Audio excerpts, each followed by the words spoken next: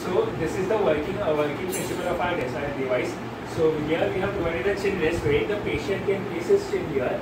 Back end we are going to place a camera that might be a portable camera which can be either connected with a uh, with a Bluetooth wire phone or else you can actually click on the phone here so that you can actually take the image. Later on this image will be processed via image processing pipeline.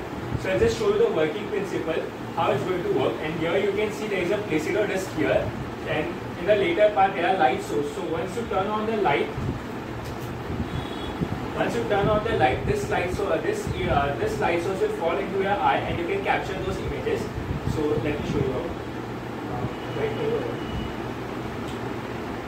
Like this.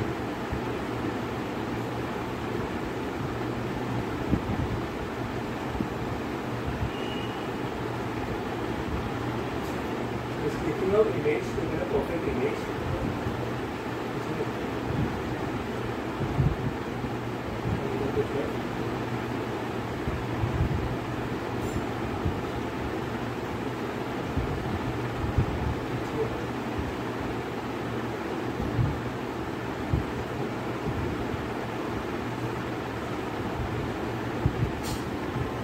Yeah, so the uh, photo has been clicked here. It took a bit long time because this is just a prototype. We're still working on this prototype.